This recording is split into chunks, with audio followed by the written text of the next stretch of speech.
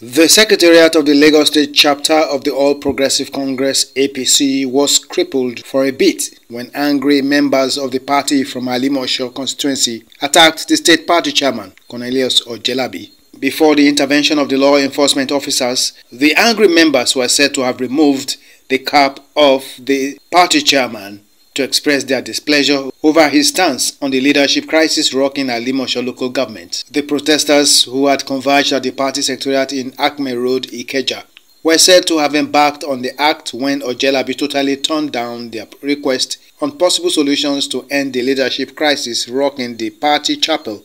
in Alimosho. The protesting party members had recommended that the party leadership in the state recognizes all former public office holders especially ex-lawmakers in the House of Representatives and Lagos House of Assembly from the Council. This is in order to address the challenges bedeviling the peace and harmony within the Council. It was said that rather than accept their request on Monday, Ojelabi insisted that the current public office holders must be on seat during a meeting that will deliberate on their wish and recommendation for APC in Alimosho. The protest could have further degenerated but for the intervention of the security agencies at the Secretariat in Ikeja, who rescued the chairman and whisked him away from the claws of the angry members who were hell-bent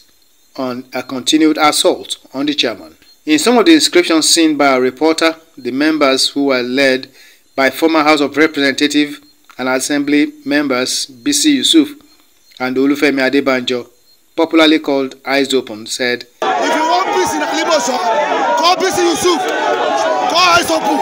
call Ejigbadero, and call Aduni. That is why you can have peace in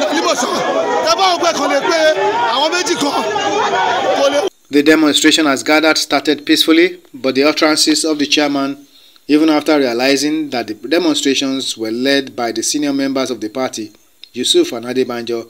angered the members who further accused Ojelabi of allegedly taking sides in the leadership tussle. They chanted many unprinted words alleging that the party under Ojelabi's leadership has become corrupt and that the executive members were biased in their judgment on issues that concerns members.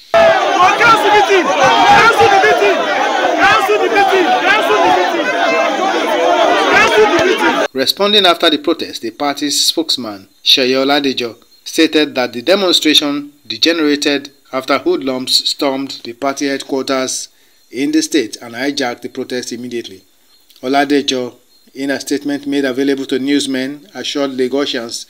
that the party under the leadership of Ojelabi will resolve the crisis, saying since assuming office, the party chairman has been working to restore peace and harmony among APC members across the state.